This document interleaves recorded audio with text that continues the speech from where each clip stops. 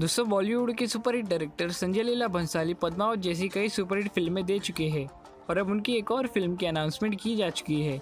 जी हाँ, और उनकी अगली फ़िल्म का नाम है अल्लाह जिसमें आपको बता दें कि सुपरस्टार सलमान खान भी नज़र आने वाले हैं और उनके साथ आलिया भट्ट भी इस फ़िल्म में नज़र आने वाली है। और बताया जा रहा है कि इस फ़िल्म को ईद 2020 को रिलीज़ किया जाएगा। आपकी जानकारी के लिए बता दें कि संजय लीला भंसाली और सलमान खान 20 साल बाद एक बार फिर से साथ में नज़र आने वाले हैं।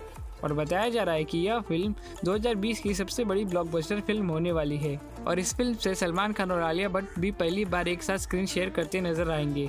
वहीं पहले बताया जा रहा था कि इस फ़िल्म में शाहरुख खान भी नज़र आने वाले हैं, पर ऐसा नहीं है। इस फ़िल्म में सिर्फ़ सलमान खान ही नज़र आएँगे। तो आप इस फ़िल्म के लिए कितने एक्साइटेड हैं, हमें कमेंट करके ज़रूर बताएँ। और बॉलीवुड से जुड़ी लेटेस्ट खबरों के लिए हमारे चैनल को सब्सक्राइब कर लें।